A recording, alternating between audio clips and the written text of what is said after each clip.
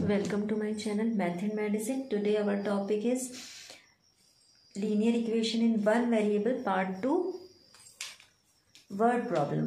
ठीक है? तो सबसे ज़्यादा स्टूडेंट्स आप लोगों को प्रॉब्लम होती है वर्ड्स प्रॉब्लम में तो मैं इसे ऐसे बताती हूँ जिससे आप लोग बहुत आसानी से वर्ड प्रॉब्लम को कर सकते हैं। ठीक है?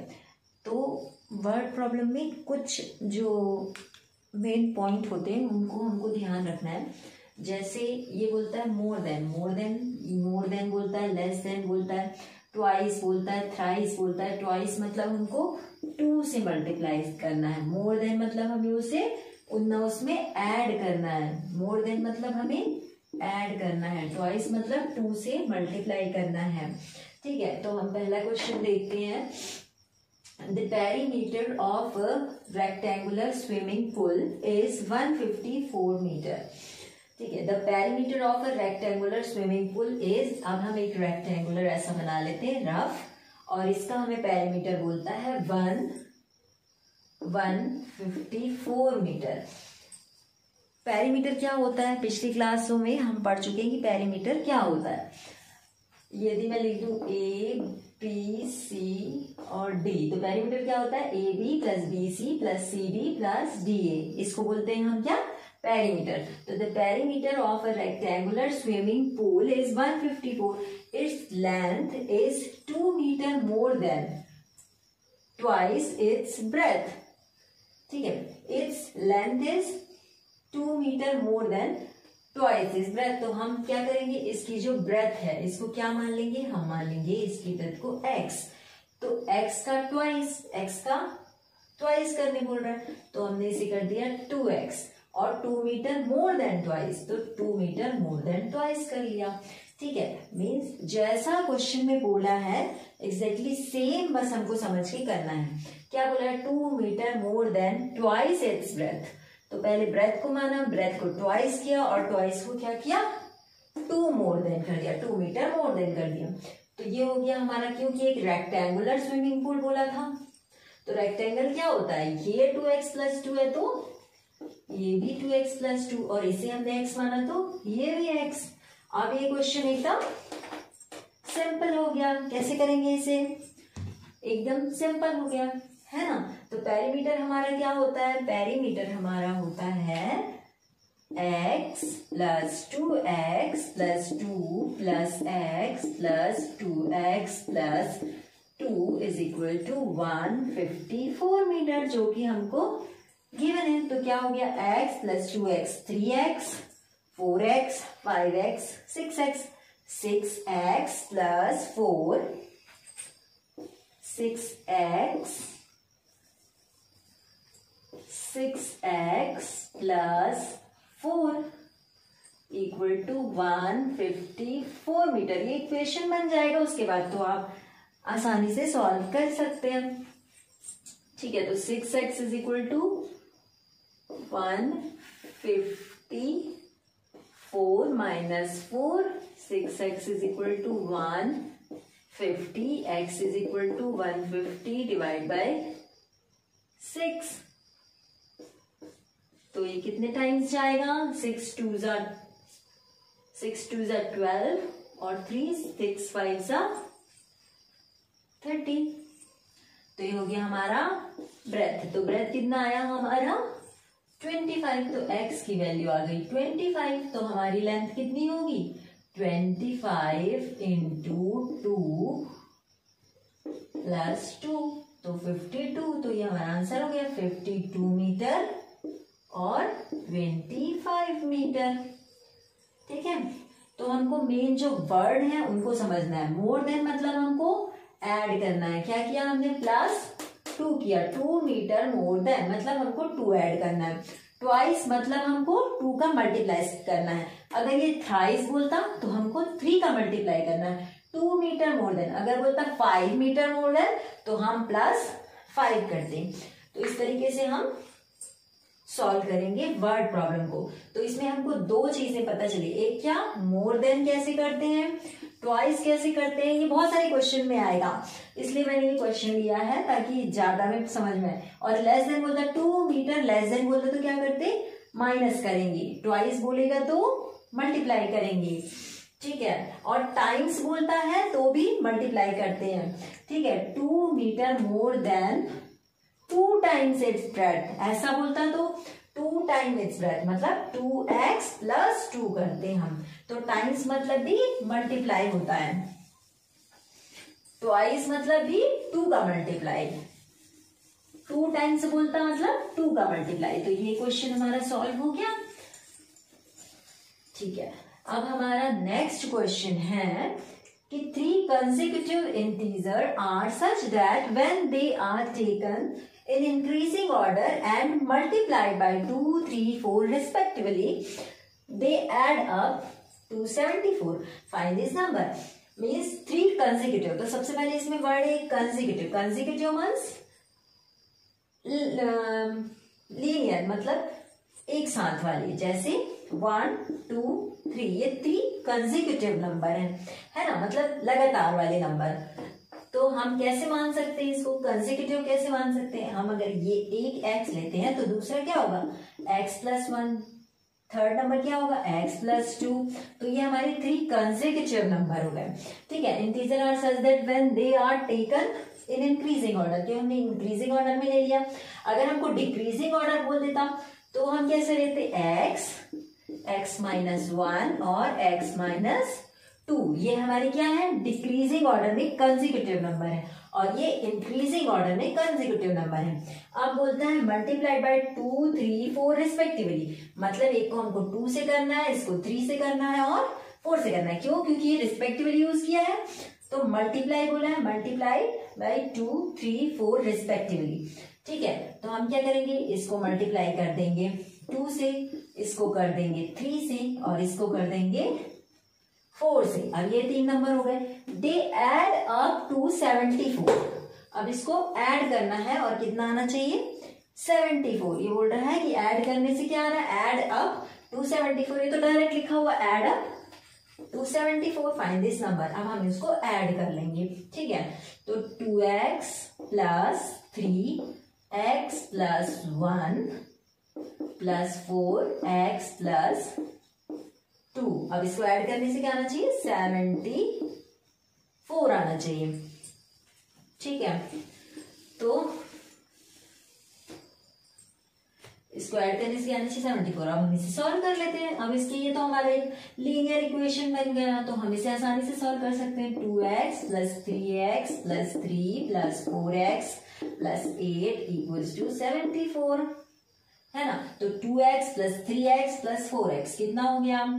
Four three seven eight nine nine x और plus eleven is equal to seventy four ठीक है?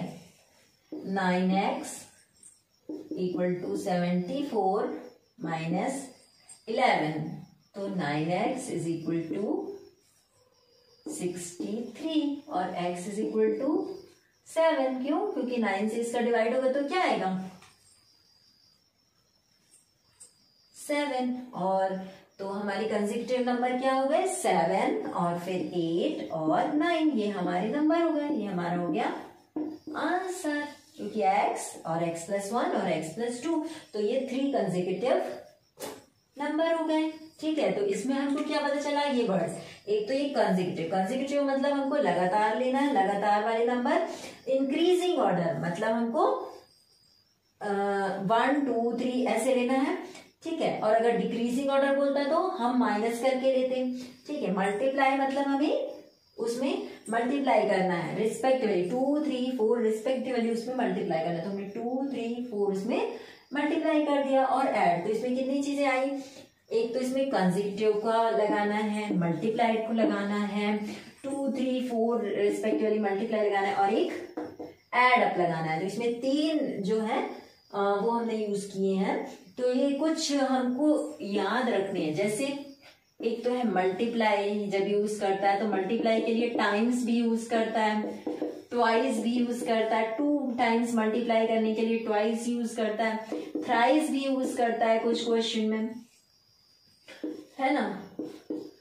और ये अपन मल्टीप्लाई करने के लिए यूज़ करता है। और मोर देन ऐड करने के लिए यूज़ करता है मोर देन किस लिए यूज़ करता है ऐड करने के लिए लेस देन किस लिए यूज़ करता है सब्ट्रैक्ट करने के लिए। या तो वो डायरेक्ट सब्ट्रैक्ट बोल देता है, या तो फिर वो लेस देन बोलता है।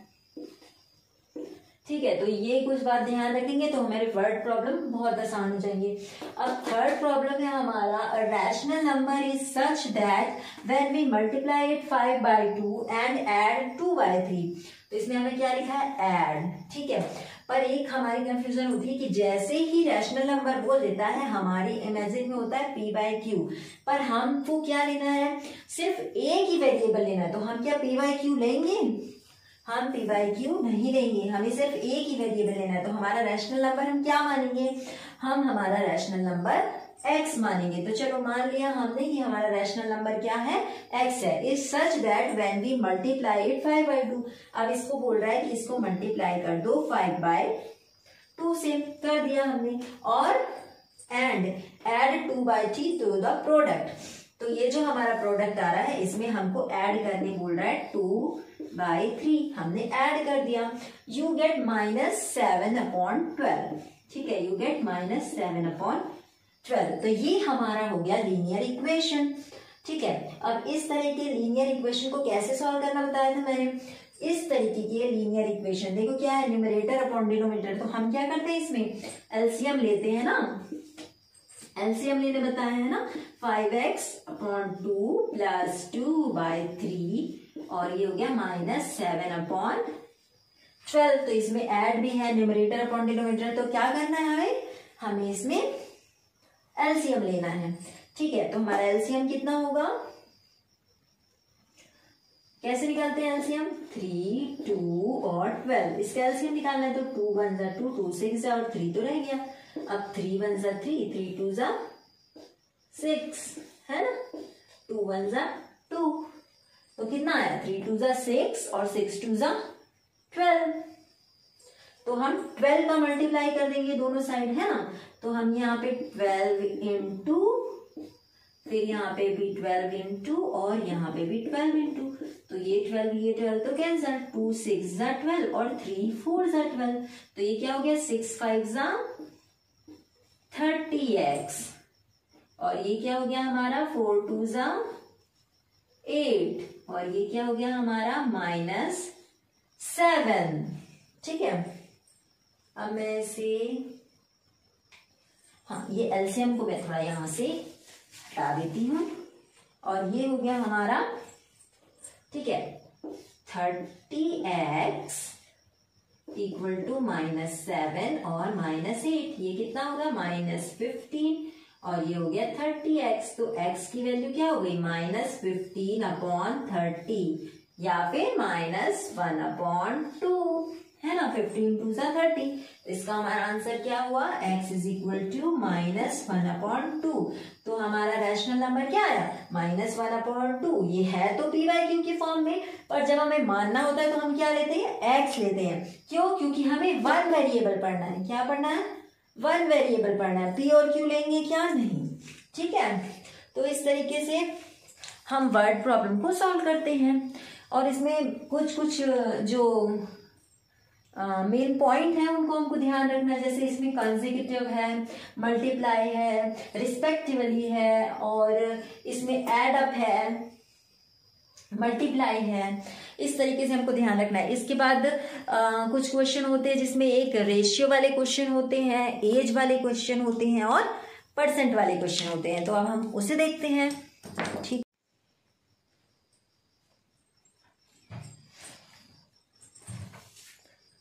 Okay next question is uh, next question is about age. ठीक है तो हमको एज कैसे हम एज वाले क्वेश्चन कैसे सॉल्व करते हैं इसको देखते हैं ठीक है? तो suppose mother present age is six times देखो क्या यूज़ किया? टाइम्स है ना? सिक्स टाइम इज़ सिक्स से इंटू करना है हमें। सपोज़ प्रेजेंट एज सुब्बू की जो प्रेजेंट एज है तो हम किसको मान लेंगे एक्स सुब्बू की एज को हम मान लेंगे एक्स ठीक है? तो suppose present days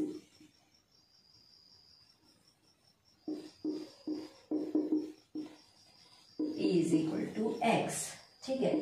तो उसकी मदर की क्या होगी?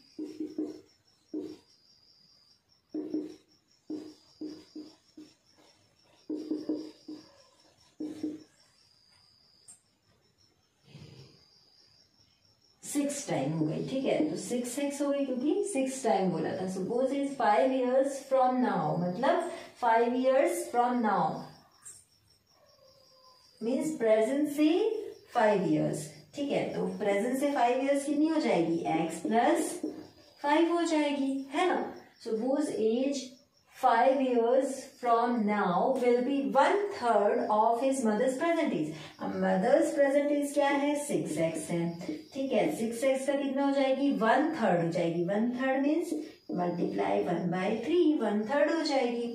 ठीक है। आफ्टर फाइव ईयर्स मीन्स ये हो गया x plus five five years from now five years ठीक है तो ये हो गया हमारा इक्वेशन अब हम इसे आसानी से सॉल्व कर सकते हैं। कैसे करेंगे हम? X plus five equals to ये थ्री टू जा six equal to two x तो एक्स इज़ इक्वल टू कितना हो गया? फाइव ओके तो सुब्बू की एज कितनी हो गई? फाइव और उसकी मदर की एज कितनी हो गई? सिक्स इंटू फाइव थर्टी ठीक है? ये हो गया हमारा। तो इसमें क्या था? इसमें था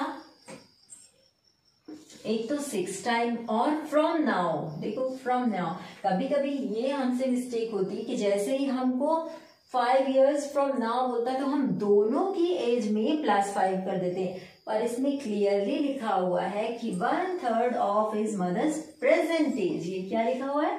प्रेजेंट एज तो हमें क्वेश्चन बहुत ध्यान से पढ़ना है ताकि ऐसी गलती ना हो। ओके तो ये वाला क्वेश्चन हो गया। तो मैं इसे रफ कर देती हूँ। ठीक है तो ये हमारा एक एज वाला क्वेश्चन हो गया। ठीक है? और अब आता है ये रेशियो वाला क्वेश्चन इसमें एज भी है और रेशियो भी है। ठीक है? The age of Hari and Harry are in the ratio five by seven four years from now मतलब फोर इयर्स फ्रॉम नाउ मतलब प्रेजेंट से आफ्टर फोर इयर्स तो प्रेजेंट से चार साल के बाद, आज से चार साल बाद. Four year from now the ratio of their ages will be three by four ठीक है तो अभी क्या है? अभी तो फाइव एक्स है और सेवन एक्स है, क्योंकि हमने मान लिया कि एक्स है. फाइव एक्स है और सेवन एक्स है. तो हम इसमें एक्स मानते हैं क्या? नहीं. जो हमारा रेशियो गिवन होता है the age of Hari and Harry are in the ratio of five by seven five ratio seven ठीक है तो हम क्या मानते हैं? तो हम मानते हैं कि हमारी एजेस क्या है? प्रेजेंट एज क्या है? फाइव एक्स और सेवन एक्स है। एक्स मान रहे कि किसी को नहीं। इसमें हमको रेशियो में क्या मानना रहता है? फाइव एक्स और सेवन एक्स ठीक है from now the ratio of their ages will be three ratio four ठीक है, कब? From now four years from now तो अभी जब फाइव एक्स है तो four years after four years क्या होगी? फाइव एक्स बाय फोर ठीक है, और